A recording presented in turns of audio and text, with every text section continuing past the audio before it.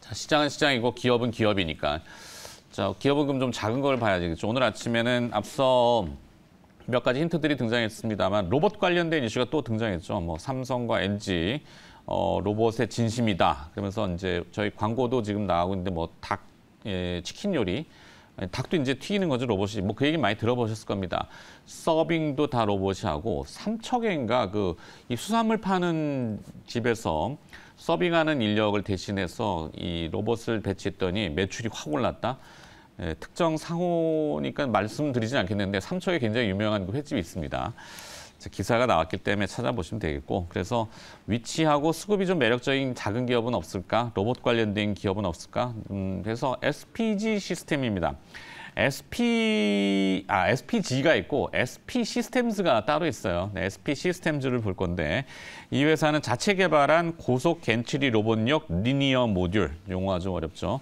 예, 현대 기아차의 이 어, 엔진이라든지 뭐 이렇게 좀 약간 무거운 것들을 들어 올리는 그런 중하중용 부품 이송 공정에 적용되는 산업용 협동 로봇입니다.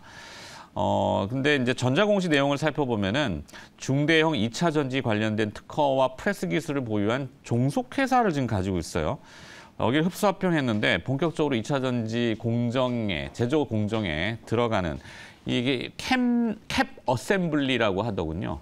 어, 이게 폭발을 방지하는, 그러니까 2차 전지를 앞서 우리 다루긴 했습니다만 감싸놔야 되는데 이게 압력이 높아지거나 열이 나는 것들을 잘 봉합하려면은 왜 우리 그 밀봉할 때 캔 뚜껑 같은 거 이렇게 닫아 놓으면 잘 안 열리잖아요. 그런 것처럼 cap assembly를 제조하는 장비를 종속 회사로 가지고 있다고 합니다. 그래서 이런 것들을 종합했을 때 지난해 실적이 괜찮았어요. 22년도에 흑자 전환에 성공했습니다. 매출은 530억 원, 영업이익 36억 원. 근데 이 회사 지금 시가총액이 900억밖에 안 되거든요. 음, 나쁘진 않은 것 같다. 생각이 들어져서 다시 들여다보고 있고 위치적으로는 이제 보통 그 technical 분석하는 분들 차트라고 하죠. 차트도 지금 모양새가 괜찮은 것 같아서 어, 내용과 부합하면은 뭐 나쁘지 않아 보인다. 시장하고는 별개로. 그리고 포인트 하나가 자본금이 9억이에요. 상장 주식수 920만 주, 대주주하고 특수관계인 지분 55% 제외하고 나면은 유통 주식 많지 않습니다. 품절주죠. 이 품절주는 장단점이 있는데 시세 변동성이 확 튈 수도 있고 뭐 조금 부진할 수도 있지만 위치적으로 봤을 때는 부진의 가능성보다는 실적을 바탕으로 하면은 좀 윗방향이 있지 않을까 이런 생각이 좀 들어져요. 근데 이제 9천 원짜리 주식이라고 저가주라고 생각하시면 안 됩니다. 액면가가 지금 100원인데 액면가 5천 원 환산, 환산 주가는 그러면은 50만 원짜리 주식이죠, 주당.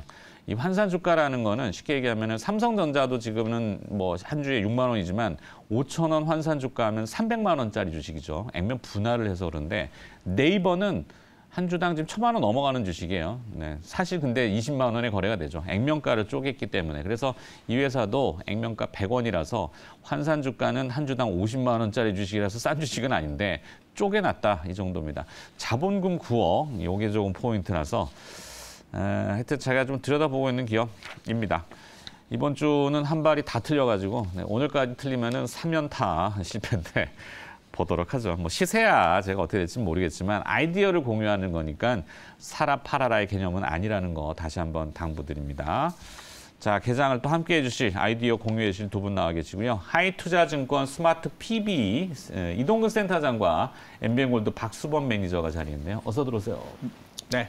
자, 오늘은 아무래도 로봇 쪽이 조금 그래도 이렇게 순환하는 그 구조에서 테마가 뭐, 뭐 차례가 또 오지 않을까요? 뭐 사실 이제 지금 시장이 오늘 뭐 아시겠지만 간밤에 이제 좀 그 뉴욕 증시의 어떤 그 악재 영향이 우리 시장에서 작용할 수밖에 없는 그런 국면이고요. 그렇기 때문에 사실은 그런 가운데서 그렇다면 이제 결국 지금 최근에 어떤 계속해서 종목 중심의 시장 흐름이 이어지고 있는데 오늘도 역시 이제 뭐 시장의 관심은 역시 이제 어떤 지수적인 측면보다는 종목적으로 쏠릴 가능성이 크다라는 거죠. 그러니까 순환매의 흐름들이 과연 오늘 나타날 것인지 오늘 뭐 이제 시장이 좀 이제 뭐 하락이 하락이 예상된다고 가정을 했을 때 그럴 때 이제 그렇다면 이제 수급이라든가 이런 부분들이 어느 쪽으로 좀 옮겨 붙을지의 여부를 지금 봐야 되는데 결국 뭐 앵커께서 말씀하신 대로 로봇 관련주들도 상당히 좀 매력적인 그런 이제 위치라고 말씀드릴 수 있겠고 뭐 아, 서두에 말씀하셨지만은 이제 최근에 어떤 대기업들의 진출이라든가 또 이제 그 어떤 그 분야의 확장 성이라든가 이런 부분들을 감안한다면은 충분히 뭐 이제 그 접근 가능한 뭐 이미 아시겠지만 AI라든가 이런 쪽의 시세들은 좀 굉장히 많이 났어요. 그런데 이제 로봇 관련주들은 그보다 상대적으로 좀 이제 덜 난 상황이기 때문에 그런 쪽에서도 측면이 충분히 어, 접근 가능하다고 보여지고 에스피시스템스 같은 경우는 이제 gantry 로봇이라고 말씀하셨지만 주로 이제 이거는 산업용 로봇 쪽에서 아무래도 그 두각을 나타내는 그런 종목이고 여기에 이제 말씀하신 대로 이제 자회사가 2차 전지와 관련된 이제 비즈니스를 하고 있다는 점도 매력적이고요. 네. 그런 부분들까지 감안한다면은 뭐 여러 가지 측면에서 아마 그래서 오늘 앵커께서 말씀하신 것 같은데 또 하나 이제 가장 큰 장점은 역시 자본금이에요. 네. 이건 이제 향후에 물론 이게 언제가 될지 모르겠지만은 자본을 늘릴 수 있는 그런 가능성까지도 가지고 있다라는 부분을 뭐 역시 좀 이제 그 부분도 역시 하나의 포인트라고 할 수가 있을 것 같습니다. 네. 그러니까 시장과 조금 별개로 어, 들여다볼 수 있는 거기에 이제 로봇이라고 하는 게 아침에 또 이슈가 되니까 어, 시일성을 바라봐서 이렇게 정했고요. 자, 이제 개장이 또 2분 앞으로 다가왔는데 동시효과 상황은 아무래도 출발은 무거울 수밖에 없을 거예요. 그죠? 자, 출발 이후를 어떻게 봐야 되는지 일단 접수되는 동시효과 특징 기업들 좀 봐주시죠. 아, 네. 네, 지금 이제 뭐 코스닥을 좀 한번 좀 보도록 하겠습니다. 코스닥 같은 경우에 지금 미래나노텍 리튬 관련 종목이 지금 이제 11%좀 올라와 있고요. 그리고 말씀하신 로봇 관련해서는 이제 로버스타가 7.8%나 좀 올라와 있습니다. 뭐 거기에다가 지금 이제 레몬이라는 어, 또 하나의 또 2차 전지 관련 예, 수혜가 예상되는 부분들 그리고 어, 현재 보게 되면 좀 지수 하락 대비해서 또 주가 상승을 보여주던 뭐 SC 평가 정보 뭐 이런 종목들도 좀 올라와 있어요. 아무래도 오늘 좀 지수가 좀 내려가겠다라는 뜻에서 뭐 이런 종목들이 좀 움직이는 것 같습니다. 그리고 유일 로보틱스가 뭐 어떻게 보면 상대적으로 좀 움직이지 못했는데 오늘 3.7%나 갭 상승을 만에 하나 지금 동시효과로 시작된다면 오늘 한번 좀 불꽃쇼도 좀 기대해봐도 되지 않나라고 판단하고 있습니다. 네, 개별 기업들은 나름의 사연을 가지고 그냥 시장과 별개로 나의 갈 길을 가겠다 이 얘기를 좀 해주셨고 물론 많은 기업들이 그렇게 확산되어 있지는 않습니다만 조금 이렇게 축소된 부분들. 정부가 은행업 경쟁 촉진 일환으로 특화은행 라이센스 도입을 검토하고 있다. 이 내용이 아마 좀 전에 말씀하신 SCI평가정보? 네, 아마 그런 쪽에 효과를 붙이는 것 같고 또 하이브 얘기는 잠시 후 개장하고 다시 또 봐야 될 것 같습니다. SM도 그렇고요. 자 개장 준비 들어가시죠.